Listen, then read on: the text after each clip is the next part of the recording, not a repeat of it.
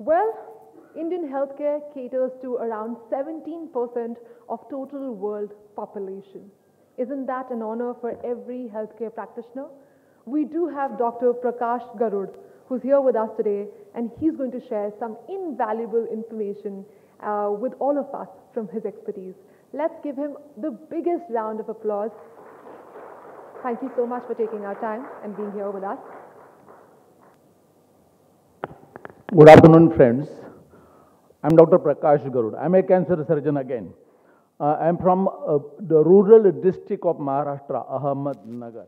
I graduated from Mumbai only, from Grant Medical College, uh, and then I got my special training in cancer surgery from Tata Memorial Hospital for four years and started our cancer center in the rural area of Ahmednagar district. Now with a well equipped with the cancer surgeries, cancer chemotherapy, and cancer radiation with the advanced machine from the Varian in USA.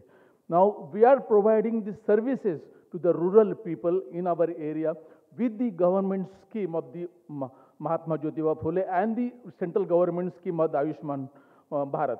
So people are getting the free treatment under this category at our center. Almost 20, uh, 30,000 patients has been treated by under this scheme with the free treatment for the cancer. Friends, India giving the health services to the 17% of the population of the world, but the 80% uh, of these services are given by the private sector, and we are come, we come in the private sector with a trust hospital that we are running and we are giving services to the rural area. We are talking about a lot about the rural population, but what we do for the rural population is that the experts are going now to the rural area and giving services, and that is the best thing that has to be come because in metropolitan cities everything is available. In rural area, most of the things are not available, and now they are being made available by these experts. The experts are available in the rural area. Only the things the 80% of the private sector which is doing services in the rural area are not being given priority by the government for their facilities. Because we have an economical constraint okay but then the government gives the facilities for the private sector because 80% private sector uh, is serving giving services to the rural population and rural india. Friends in india 8 to uh, 8 lakh patients are every year are new generated in the cancer and this cancer is increasing day by day. And cancer doesn't prevent.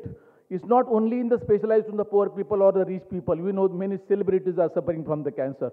So cancer is, can uh, occur to anyone and we have to be aware about this cancer. Cancer is 50% cancers are preventable.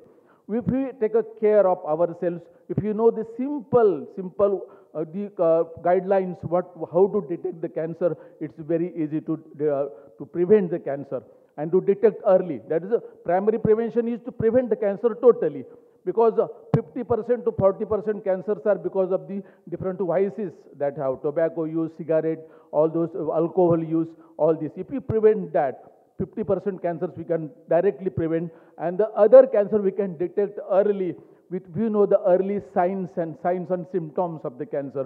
If you and if every year, every year, every person should do a normal test before celebrating the birthday. If you do the normal test from our family doctor, early can detection of the cancer can be done and can this major this hazard of this cancer can be prevented. Thank you very much. On to our next category of healthcare excellence in Ahmednagar, Maharashtra. The winner is Dr. Prakash Garud. Thank you so much, Dr. Prakash, for joining us today. We earlier heard him talk very, very passionately, speak about his field. With over three decades of experience, Dr. Prakash has treated over 3,000 cancer patients in Maharashtra.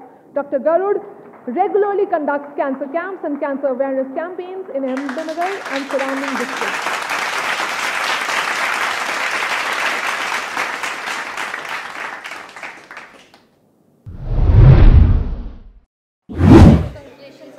Thank you very much. I got uh, healthcare excellence in oncology in rural India, Ahmednagar state, Maharashtra. Uh, our organization is a public charitable trust where we provide the all the services of the cancer treatment, whether it's the cancer surgery, cancer chemotherapy, and cancer radiation also with advanced technology available. Uh, so, what are the uh, what are the driving factors for you? uh, the- Uh, because I wanted to serve the rural population.